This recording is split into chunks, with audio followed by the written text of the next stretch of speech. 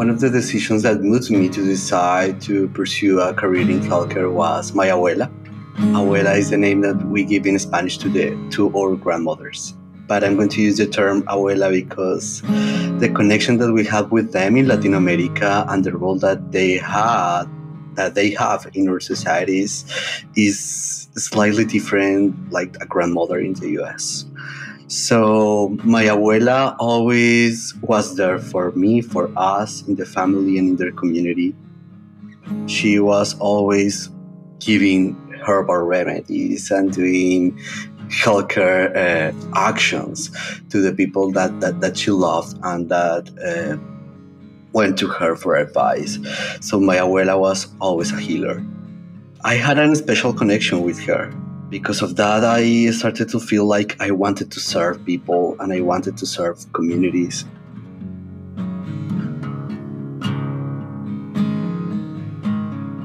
Welcome to A Nurse First. This is Daniel Suarez Baquero telling his own A Nurse First story.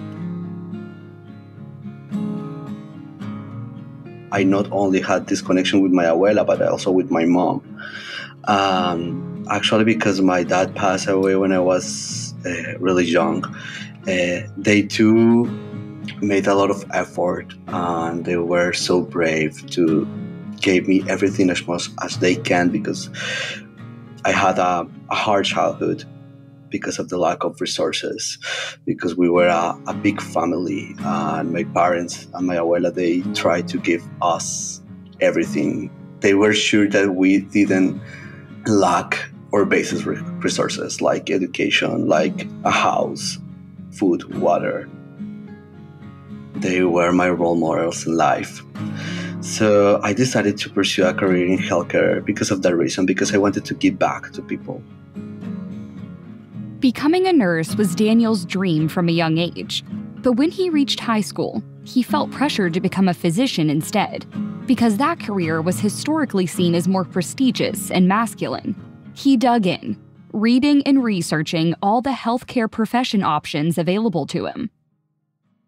I felt like if I become a, re- a physician, I will be just a patient's visitor, only going there for a brief moment, do certain surgery procedure, make a diagnosis, and then um, see the people next day or in a month.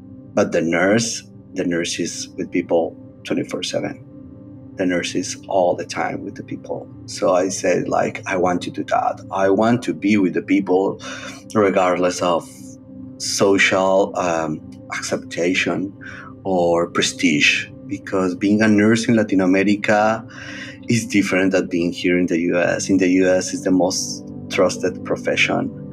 But outside the US and especially in Latin America, being a nurse, you are like the assistant of the physician, or you were not enough to become a physician. But I decided with conviction to become a nurse. I only applied to nursing schools. I was so focused that I wanted to work in women's health, but I didn't knew in that moment where when I started um, my undergraduate program which part of the spectrum of women's health I would like to work with. And then I had my class of maternal and perinatal nursing healthcare. And in that class, that was a revelation for me.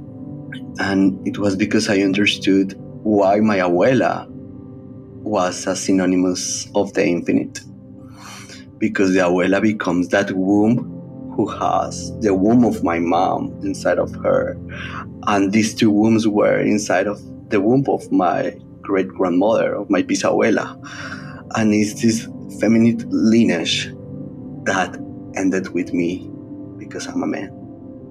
So I decided that that would be not the case, and I will continue that lineage of the infinite through my nursing work.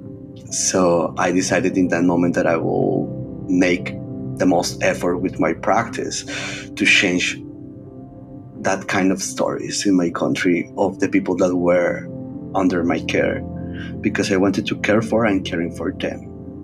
And I thought that if I can change those experience of those pregnant capable people that were under my care, maybe I can change the way in which new humans beings and new people are arriving to this world.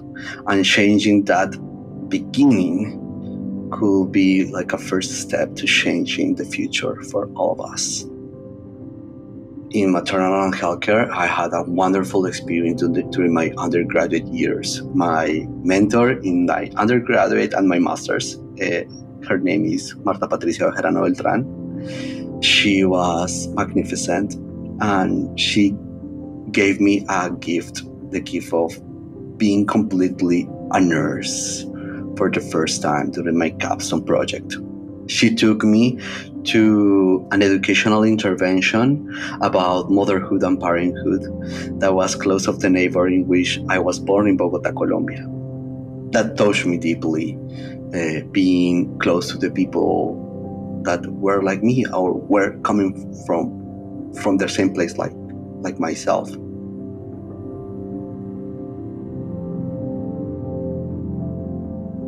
But when I graduated as a nurse and I started to look for jobs in hospitals, in, in labor and birth rooms, I only received rejections because Colombia is a really traditional country and is a little bit archaic in some aspects.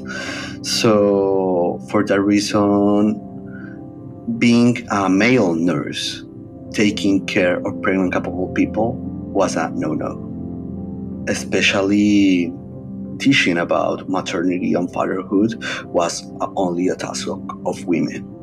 But for me, that was like, why? That that was like uh, shocking for me because I saw a lot of physicians doing that work as obstetrics and gynecologists, and the gender was not like a barrier. But when we talk about nursing, it was.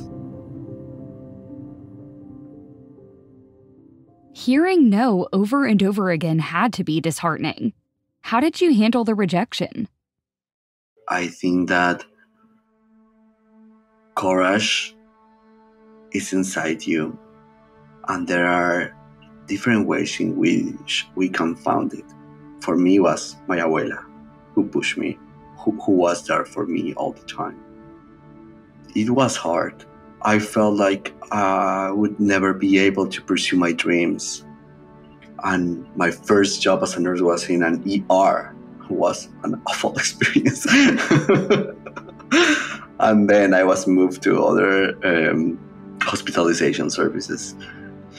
But suddenly, after going and trying and doing and being stubborn, I have been so stubborn in my life I was able to do it and just break those boundaries, those archaic canons that were like containing my dreams and containing my hopes and, and my ways of being. So, for that reason, I decided to pursue my master's degree. And I studied a master's in maternal and perinatal nursing healthcare. My primarily goal in that moment was to be able to work in my dream job that was helping pregnant capable people. Graduating from the masters allowed me to do that. I became the first male nurse in uh, several hospitals across my hometown, Bogota, Colombia, in the birth and labor rooms. So it was like a, a shock for my colleagues and for the institutions who were questioning why we have a, a male nurse in the birth room. But now I was the first, but I was not the, the least. During my master's, I noticed that there was a theoretical gap in Latin America so I said, like, I need to pursue a PhD to fill this gap. And something that actually caught my attention was when I was reading the books and learning about disciplinary nursing knowledge that in Latin America, I wasn't able to look at myself in those books. Those books were filled by white, cisgender, North American, or European women so I said, why my professors and my mentors who have developed so much knowledge and doing different advancements in nursing discipline that are not here? And in that moment, um, I decided to pursue my PhD. And I came here to the US to do that because I was told that here in the US is where the disciplinary nursing, the core disciplinary nursing knowledge emerged. But when I arrived here, that was not the case. Uh, when I arrived here in the US and I started to to talk about my experience as a nurse, labor and birth nurse, as a nurse midwife in Colombia for 10 years, I think so. I noticed that my perspectives of nursing were different that my colleagues or my professors. Then I started to talk about um, this main concept that um, in Spanish is cuidado, that it could be translated in English as care and caring. But care and caring are different words in English, and they these two words have different uh, nuances and meanings. But for us, that difference doesn't exist. So then I understand how the knowledge that was developed of in nursing was sent out without considering the cultural congruency, the um, translation congruency, and was just sent like imposed, like this is nursing, and you try to do something with that. Uh, but that that action that we had in our disciplines in the 80s and in the 70s create a completely unique and distinctive vision of nursing in Latin America. I receive a lot of like comments of mentors and professors and reviewers of peer review journals saying that that was not important, that that was not the case, that I was wrong, that uh, I was not fundable, that um, I was just saying like nonsense. But um, then I had the support of of different professors during my PhD program, especially Dr. Jane Champion. She was the first one who believed in what I was saying, to took the time to really mentor me and hear me. Because of that, I was able to pursue my dissertation in Colombia with traditional parteras, parteras tradicionales, or maybe traditional midwives. Um, in my country, they care for the rural, rural ethnic minorities in my country and urban marginalized communities. And they are like so fundamental for healthcare in my country, but at the same time, they are discriminated because they are not they are not formally educated or because they are uh, racialized in a different way in the country. So um, I have this wonderful opportunity to work with them to start to, to thinking more critically about for example, the meta paradigm, uh, how we see the nursing discipline in a distinct way in Spanish speaking nursing. And that helped me to connect again with my roots and again with my abuela. She was really important for me. She she made the person who I am today. She told me to be transparent, to be authentic, to be honest, to say the truth to being caring, to being compassion, to have compassion for others, to being attentive, sensitive, intuitive. She was everything in my life. She said to me one day, Dream with the stars so you can reach the heaven. So when I am talking about the topics that move this passion inside of me, I can see these topics in the stars on my sky. Your abuela sounds like an incredibly brilliant woman. What stars are you chasing next? Will you return home to Colombia?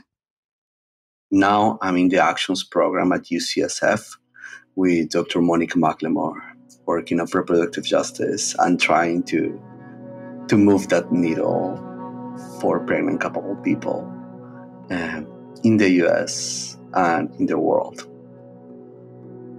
When I arrived to the US, that was my main goal I said like I'm going to obtain my PhD and I'm going to return to my country and continue working in my country.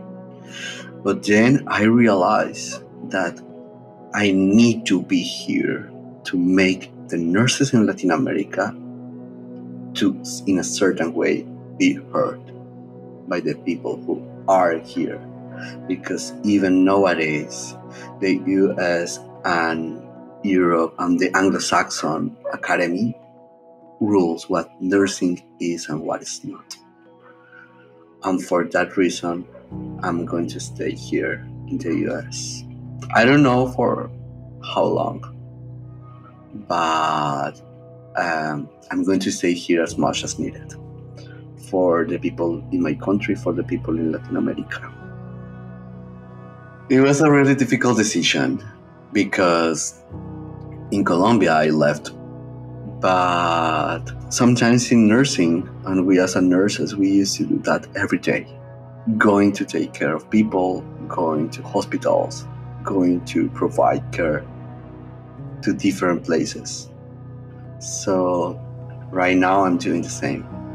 Wherever I go, wherever whatever I I write, every time I speak, I am bringing my roots, my people, my country. I just want to highlight that if I am here, it's not just because of myself. It's because mostly women, a lot of them were before me. I'm standing in their shoulders and I am who I am because them. They helped me a lot. They gave me a home, they gave me a discipline, a career. When I was bullied in school because I am gay, they were my friends, they were my family, they were my professors, my mom, my mentors. Women had been surrounded my life. so that is what I'm trying to do with my nursing career to give it back to them.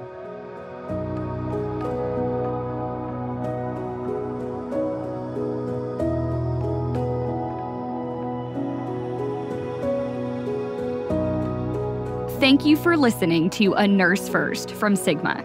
If you loved this episode, do us a favor and subscribe, rate, and leave us a review. It is very much appreciated. For more information about A Nurse First and Sigma, visit sigmanursing.org. Until next time.